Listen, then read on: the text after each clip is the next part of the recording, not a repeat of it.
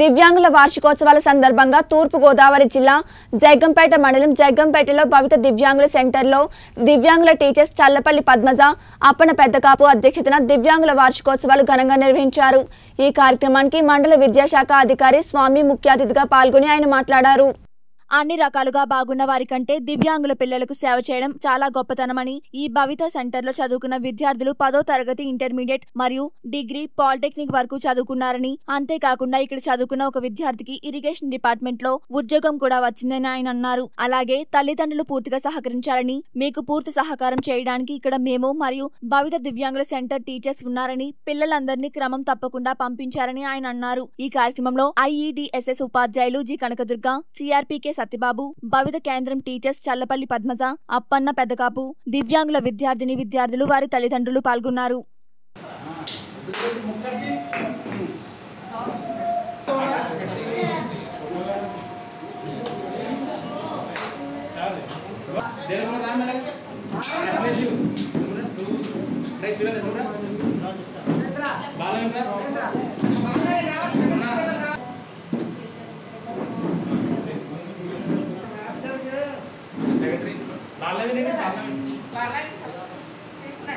పక్కన పెడతారు.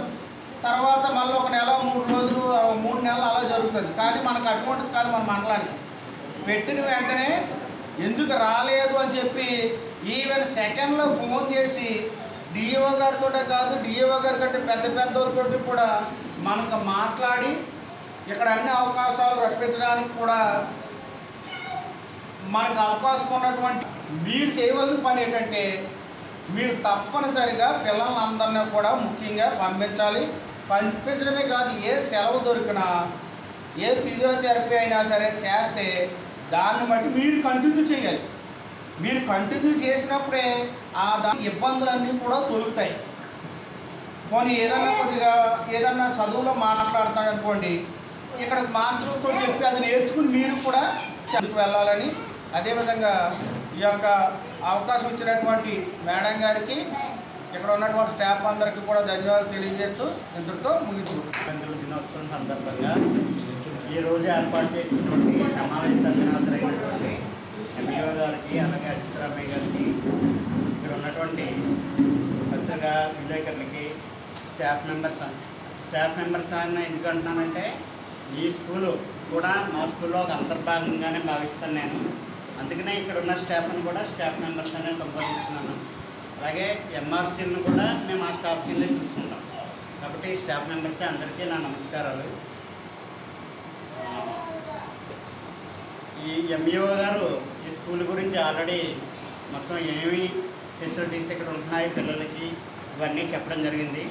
అలాగే ఇక్కడ ఉన్నట్టుంది హై స్కూలు మీరు మీ విటమిన్స్ అంతా అక్కడి నుంచి వస్తుంది కాబట్టి మేము వీళ్ళు ఎక్కువ కోఆపరేటివ్గా ఉంటాము. ఏమన్నా సమస్యలు ఉన్నట్లయితే చెప్తాము. ముఖ్యంగా తల్లిదండ్రులకి తెలియజేసేది ఏంటంటే మనకి అదే విషయం అచ్యుతరామయ్య గారు నేను ఇక్కడికి వచ్చిన కొత్తలో ఆయనతో మాట్లాడినప్పుడు మీ ఈ కేంద్రం మీద ఇలాంటి పిల్లల మీద ఆయనకి ఎంత అభిమానం ఉందో ఆయన ఆయన మాటల్లో నాకు అప్పుడు తెలిసింది. ఆయనతో కూడా మీ గురించి చాలా విషయాలు మాట్లాడడం జరుగుతుంది.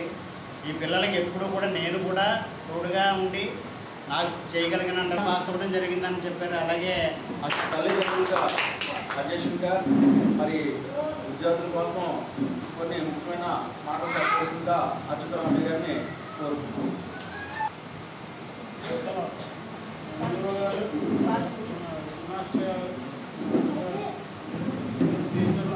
తల్లిదండ్రులకు పరిచయం ఇక్కడ విషయం ఏంటంటే డిసెంబర్ మూడో తారీఖున ప్రతిరోజు గుర్తుంచుకోవాలని చూసుకోవాల్సింది తల్లిదండ్రులు చూడాలి.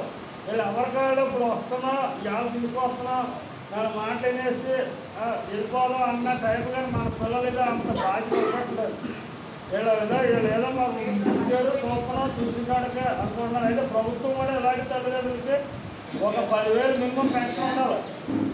ఈ ఈ పడుకొని లేగలేని పిల్లలకి మూడు వేలు ఒకటే వాళ్ళకి మామూలు పిల్లలకి అదే మూడు వేలు. ఫార్టీ వన్ పర్సెంట్ ఉన్నవాడికి అదే మూడు వేలు పదమూడు వేస్తున్నారు. అది డెబ్బై ఏడు పర్సెంట్ ఉన్నాడు అది అర్థం ఎందుకు ఆపన్ చేసి కంట్రోల్లో పెడతామంటారు కదా ఇదే ఇప్పుడు సెవెంటీ ఎయిట్ పర్సెంట్ ఉన్నవాడికి నడవలేదు వాళ్ళకి త్రీ థౌజండ్ వీళ్ళందరికీ వీళ్ళందరూ ఎదుర్కొడుతున్నారా వీళ్ళందరూ పుట్టింది కారణం నేను అన్నది అది ఏదైనా అవ్వచ్చు కానీ ప్రధానంగా డాక్టర్ ద్వారా వీళ్ళు ఆపని చెప్పేస్తున్నారు అదొకటి. అంటే డెలివరీ అవగానే ముందే ఓ చెప్తే లాగేసి చేస్తున్నారు. అప్పుడు వాడి వస్తుంది. రెండోది రెండో